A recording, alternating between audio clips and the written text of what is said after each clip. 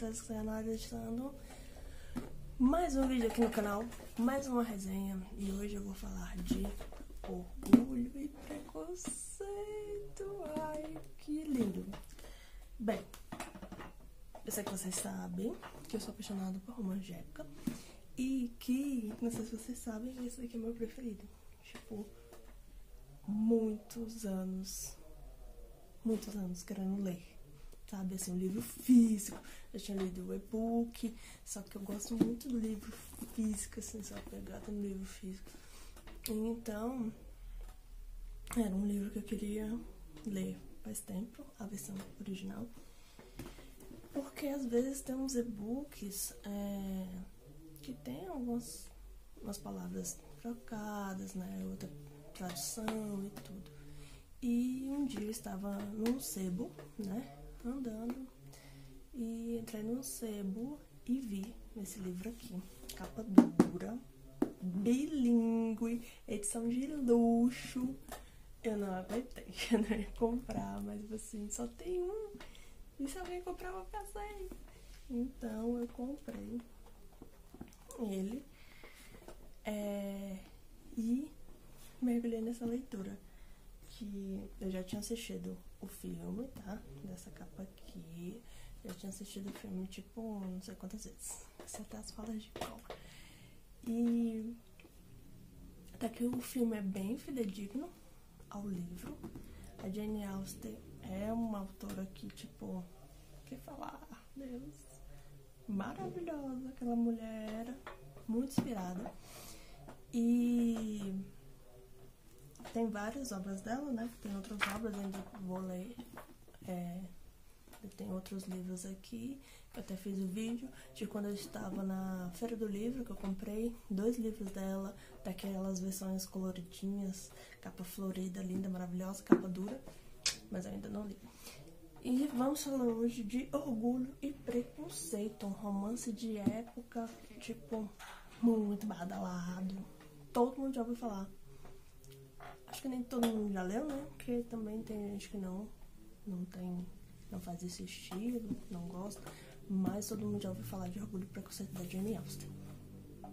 E é, esse não foi o primeiro livro dela, né? Ela escreveu outros livros antes. Mas acho que esse daqui foi o bom. O pessoal mais comenta. É, e ele fala da história de uma família que tem quatro, cinco irmãs, né?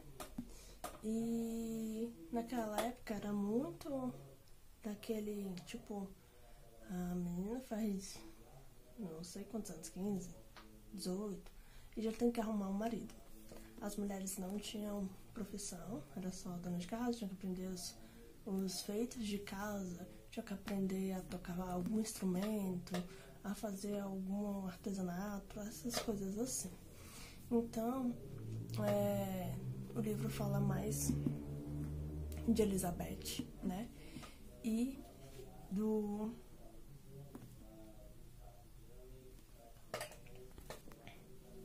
Então, o livro fala mais da Elizabeth e do Sr. Darcy, né?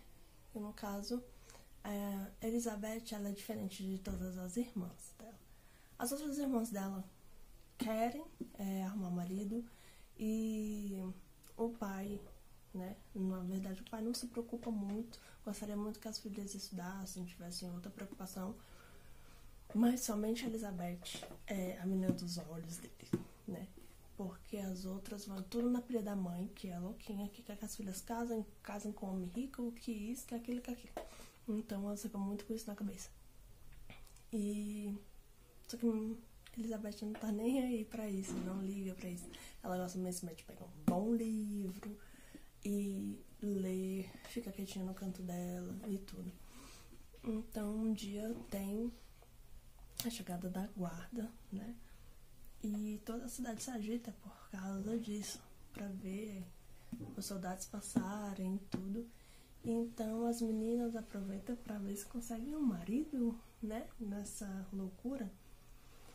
E então, é, Elizabeth nem se mexe. E tem um soldado que meio que, tipo, se apaixona por ela iria casar com ela. Só que um vizinho chega, né? Esse poderoso aqui chega para passar o verão na casa de campo. E ele é um. Ele chega de Londres mesmo, da. da Inglaterra. E ele chega de Londres, né? Vem pro campo para passar o verão junto com a irmã dele. E ele é um solteiro muito cobiçado, que lá estava, tipo, dando briga lá nos bailes e tudo, porque rico nessa época só fazia baile. Então ele não achava nenhuma mulher interessante assim e quis dar um tempo foi pra foi passar o verão nessa casa de campo, que era quase do lado da casa dos Bennets. Então eu ficava sabendo que tinha é, chegado a mãe, né, que é terada das fofocas, sabia que tinham chegado novos vizinhos. Então convidaram eles para tomar café, né, um chá. E ele foi. Ele e a irmã dele, não, pra não fazer desfeita, foi e viu que, tipo assim, a irmã dele era muito assim, enjoada. Então viu que a casa era muito simples, que eles não. que eles tinham poucos empregados, que a mãe fazia tudo, assim, as meninas eram muito simples, então ele falou, oh, nem pensa em casar com nenhuma delas. Então logo foi embora, só que seu Darcy é, encontrou um charme na Elizabeth, né? Só que um era tímido, o outro mais tímido ainda. Como é que ia fazer as coisas, né? Então, eles foram convidados também pra ir pra um baile. baile desse, né? Então foram todas. Se arrumaram horas se arrumando. E foram pra esse baile. E a mãe alvoroçada, né? Então Elizabeth não gostava disso, ela ficava mais no canto dela. Então, é, nesse baile, ele acaba que ele é um pouco arrogante, né? Ele, na verdade, ele tem assim medo de se relacionar. Então, ele dá umas patadas nela, fala algumas coisas bem é, duras pra ela, né? Porque ela chega toda alegre, a Liz é bem feliz, sempre alegre, distante. E ele corta isso, então ela fica bem chateada. E vai contar com a, com a irmã dela, né? A irmã dela mais nova depois dela, que eles têm uma amizade. E na festa mesmo, no cantinho, ela fala que ele insultou a inteligência dela e tudo, que tá chateado e quase começa a chorar. E ele vê. Então ele só espera. E na hora da dança, então ele vai lá e chama ela pra dançar.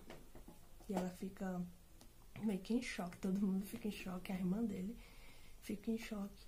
E eles dançam, dançam muito bem, e depois eles se separam e ela vai embora, né?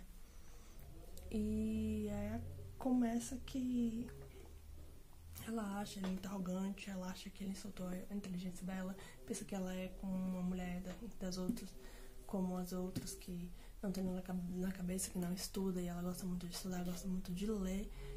E isso pra mulher naquela época, tipo assim, nossa, por que você tá lendo? Pra que você vai usar isso? Ela era uma pérola, né, da família. E o pai dela sabia disso. Então, assim, tem vários acontecimentos de todos os encontros, ela passear é, perto da casa dela, perto do rio, e ele está passeando também é, do outro lado, eles ficam se olhando e tudo, mas tem uma série de coisas. Aí vem um primo dela que é, deseja uma esposa e vem na casa dos tios para escolher uma esposa e escolhe quem? Elizabeth. Só que o primo dela é muito bobo, assim. Então ela recusa o pedido, né? É, a mãe e o pai ficam esperando. O pai não, porque o pai é bem tranquilo. Fica esperando pra ver quem ele vai escolher e ele escolhe ela e ela dá um fora nele. E ele fica, tipo, de boca aberta. E ela sai, simplesmente ela sai. E a mãe dela briga com ela horrores. porque ficou chateada porque ela não quis casar com ele, porque ela já estava apaixonada pelo seu Darcy. E acaba que esse primo dela casa com a amiga dela. E a amiga dela fala: É, mas eu já tenho 30 anos, o que você quer dessa vida? Se eu não casar agora, não caso mais. E eu fico assim: Época difícil, hein? Difícil. Aí então, depois ela ainda vai na casa dessa amiga, conhecer, enfim, fica mais perto ainda da, da propriedade do Darcy. Eles vão, são convidados aí à casa do Darcy e tudo. E acaba que eles ficam, querendo ou não, ficam mais próximos. E no final, tá, no final vocês vão ter que ler. Mas quem já assistiu o filme sabe que é lindo. É uma maravilha. Eu gostei muito. Assim, é uma leitura muito rica. Jane Austen arrasa, como sempre. Eu só não li na versão inglesa ainda, né? Mas assim, é uma maravilha. Eu tenho outros livros da Jane pra, pra ler. Também acho que eu tenho uns 4, 5 aqui. É, eu queria ter ido na casa da Jane em, na Inglaterra, né? Quando eu estive lá. É, mas não deu tempo, que era muita coisa assim pra eu ver. Acabou que eu não fui, mas tenho fé que eu ainda terei a oportunidade de ir na casa dela, conhecer. A casa dela fica aberta para visitação, onde ela escrevia, as coisas dela são bem, assim, tem uma intenção para manter isso e o público, os fãs poderem ter contato com ela. É. Então é isso. Super indico, tá? Quem não conhece Jane Austen, gente, por favor, não percam tempo. Essa mulher maravilhosa. É... Quem gosta de romance de época, romance inglês, se passa porque romance de época, pra mim, vocês sabem que é tudo. Agora, romance de época, passa em Londres, meu amor, já pega meu coração assim, ó, na primeira. Só de falar que já passa em Londres, pronto, já me ganhou. Então, super indico pra vocês. Logo depois, é, logo mais terão a resenha dos outros livros dela também. E suspirem, leiam, se apaixonem pelas histórias de Jane Austen. Tchau, até a próxima. Fique ligado aqui no canal para ter mais resenhas. Curta, compartilhe, se inscreva aqui no canal. Nos siga nas redes sociais, nos siga no Instagram. Fique de olho que logo teremos mais vídeos, mais novidades. Fui!